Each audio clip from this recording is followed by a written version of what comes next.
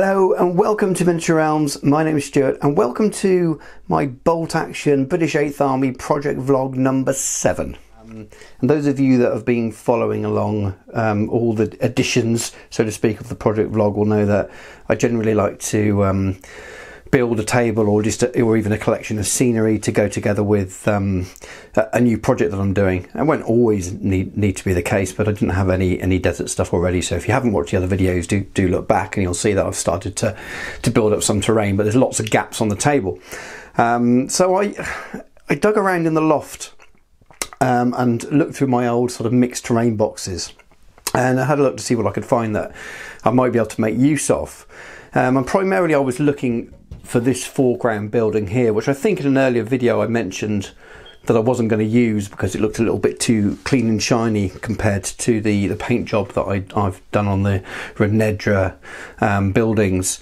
But as you can see, I was right. You can see I'll pop a little picture up there and you can see that it stands out like a sore thumb at the back of the table as it stands at the moment, but I still really, really like it. And I thought that maybe I could um, airbrush some inks and things and weather it slightly and, and, see if I can bring it in to match the table a little bit more. Um, it's the only one I've got, so I mean I could go and buy a few more and have a slightly different themed table, that's one option.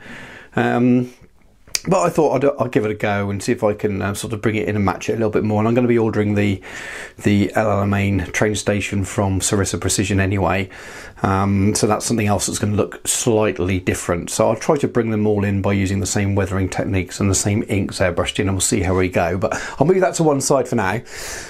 And that leaves us with these other bits, monstrosities. Um, many, many years ago, we're talking more than more than ten years ago, I um, made a little bit of terrain and resin cast it, and I used to sell the odd bit as well. And these are some of the pretty poor specimens, really.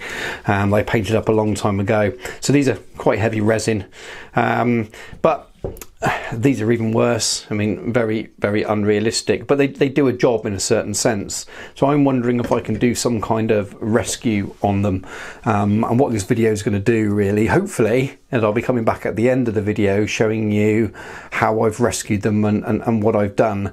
Um, I have a little bit of an idea of adding some extra rocks maybe in these and adding some dry shrub um, adding again some of the same weathering powders and, and, and, things that I've used on the other terrain to bring it all in and, and, and see how it looks. Um, particularly filling in some of these gapped area here, I don't, just don't think it looks very good or realistic. These are clearly calmed out of blue foam ages ago and then cast in a mould and, and, and then cast in resin, sorry.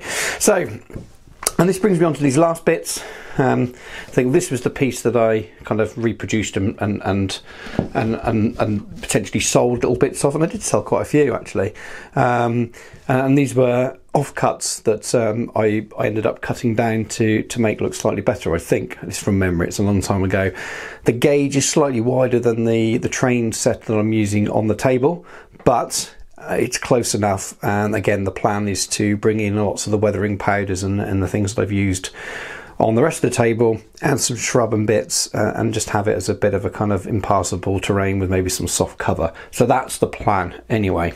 A couple of years ago, I was given lots and lots of terrain and modelling bits by my good friend Carl, who lives local to me, but I've still never managed to play him at a game at anything. I think we always end up playing different systems at the at the wrong times, but they kind of they never quite overlap. But uh, Carl, I met through the Horus Heresy scene a few years ago, and he used to attend the events my, my friend Tom and I used to run, and he. Um, yeah, absolutely incredibly talented painter. Um, he used to do lots of Twitch sessions and things. I'm not sure if he still does anymore. I think the pandemic may have paid the end to that sort of thing. But he, I know he still posts things on his Facebook and on his Instagram. So have a look for a Lost Exodite miniature art, and um, really, really, really, really, really talented guy. But anyway, that's not what I'm here to talk about.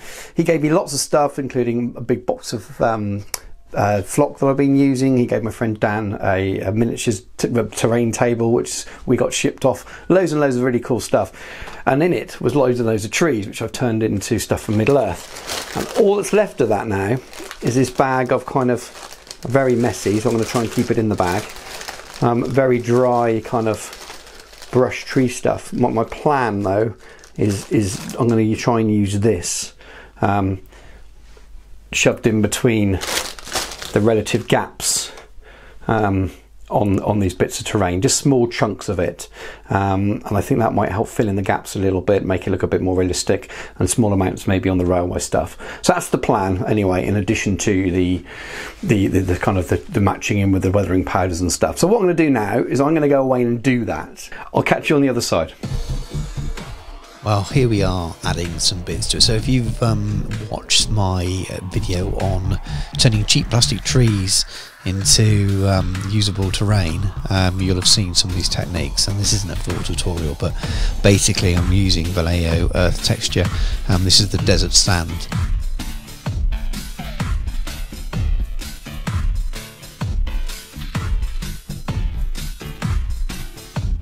Then after that, same thing again. This is Vallejo ground texture, so slightly different in terms of its sort of thickness, um, and this is grey sand.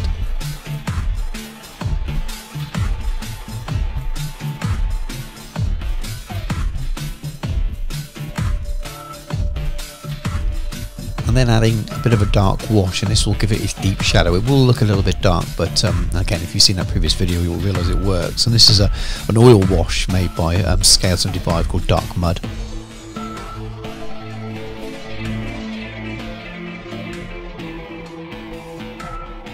Now another oil wash by Scale 75, this is mid-ground, that starts to lighten it slightly.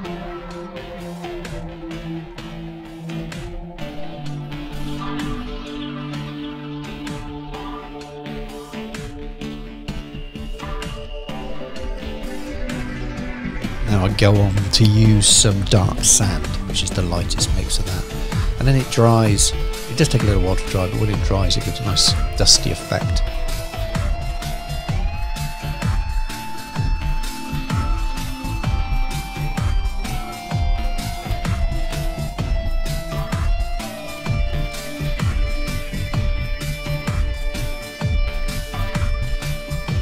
Once fully dry, I'm dusting on pigment powders directly, rubbing them right into the grain and blowing off the excess. Be surprised how well it stays on. I'm using three colours over three layers. So the first layer is um, Vallejo um, light sienna. Second layer is um, Vallejo dark yellow ochre. And then the third layer in patches is Vallejo green earth, which is almost a a white colour, a whitey, very, very, very, very light, pale, cold sort of green tinge to it, but it was very, very white as you can see.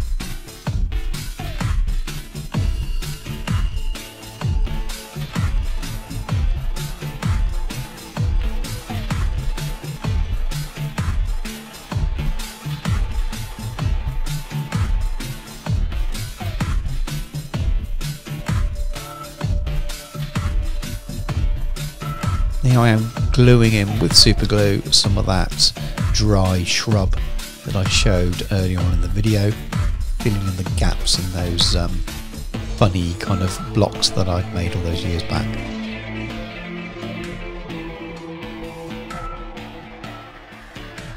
And the same railway tracks, just covering up some of the bits that don't look quite so period um, accurate, shall we say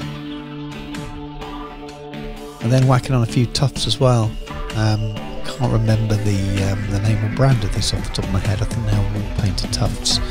Um, as you can see, any kind of new dried, arid-looking grass would, would work, and it's just a nice offset the green that's that's there from the, the dry shrubland, and works very well against the Geek Villain mat, which you'll see a little bit later when you see the finished table.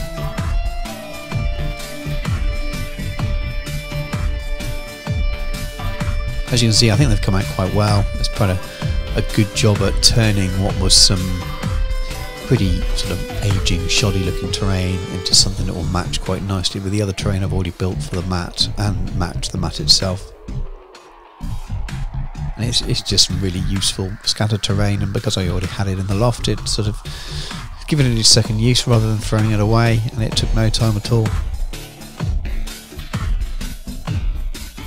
these bits aren't slightly better than those those strange bits with the um, the, the, brush put in, but um, they work as well. It's a good line of sight um, blocker there, but not so large that you, you can't get troops and tanks and things around it. I'm using natural undulations in the the Geek Villain mat. I've got t-shirts and things pushed under it, so there's not natural sloped hills and things. Now on to making that um, foreground building, which is really nice by itself. I love foreground things, but they are very clean and cartoonish, as I, as I mentioned earlier. So now to try and make it look a little bit more grim and, and dark and match the other buildings I already have. So I'm airbrushing here some Citadel contrast paint, and I believe it's Wyldwood from memory. This gives you a it's not quite as dark or as um, sort of purpley brown as the Cygor brown that you can get. So this is very good for tree bark and stuff. Probably why it's called wildwood. Um, and it's just a really nice mid brown. Now I'm stippling on some more Vallejo texture. This is thick mud, European mud, but I'm putting such a small amount on. It doesn't look like wet mud. It dries. It looks like kind of dried, splattered um, mud at the bottom of a building where there's been traffic um, whether that's foot traffic or, or, or um, tanks or jeeps and things. And now I'm using some more of the Scale 75 oil washes. I am thinning them with clean white spirit afterwards.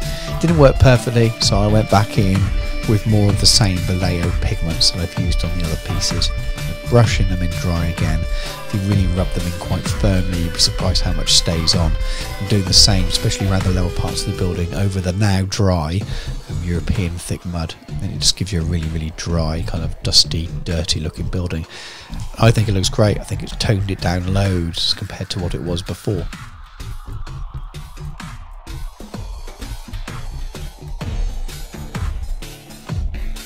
And you may have watched another video that I, I, posted just before this one has come out, a few days beforehand, and this is the Sarissa Precision El Alamein station.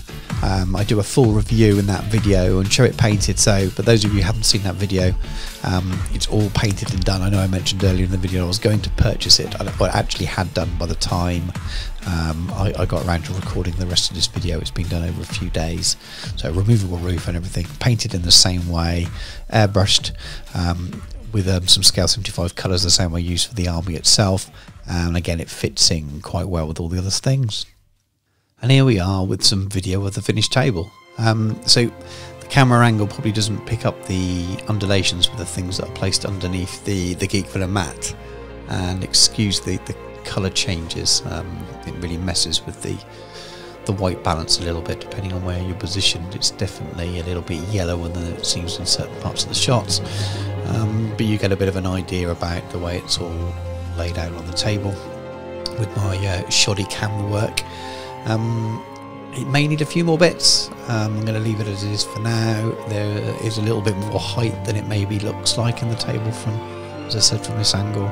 So there are very few things to um, block line of sight. So the train does itself, the railway station does. Um, the three buildings obviously do there. The one the other side does. So do all the um, the little scattered terrain and rock formations and things. Um, but obviously, sort of filming it from this sort of height, it looks like it's fairly flat. Saying all that, it's not a, a sort of city fight table. Um, it's not even a European uh, um, sort of countryside table with lots of bocage and, and trees and things like that. It, it is the desert. Um, there are lots of open, barren lands and things. I may get a few more rocks and things like that, but as I said, when you when you're kind of at eye level mode, uh, there are plenty of things to block line of sight. But yeah, please do comment and have some ideas if people think it should be laid out in a slightly different way. You know, I've laid it out in a certain way. God knows if that will be the way I lay it out when actually get to play a game on it. I can I can do all kinds of different configurations, but it, it looked good for a setup. I popped a few of the models on there that I have finished. The rest of the army actually is um, is, is, is coming along quite nicely everything bar a Matilda 2 tank, which is still in a box that I'm going to do a, uh, an unboxing and, and build and, and, full paint tutorial on. The rest of it all has paint on it, had all the airbrush layers. Um, are well into the kind of the, the, the, next layers now if you've if you've watched my painting tutorials on how I do it. So still a little bit of work to go, but um, I'm pretty sure it'll be it'll be done in the next month or six weeks or so, and then I can move on to my next bolt action project. Now a few stills rather than my awful camera work.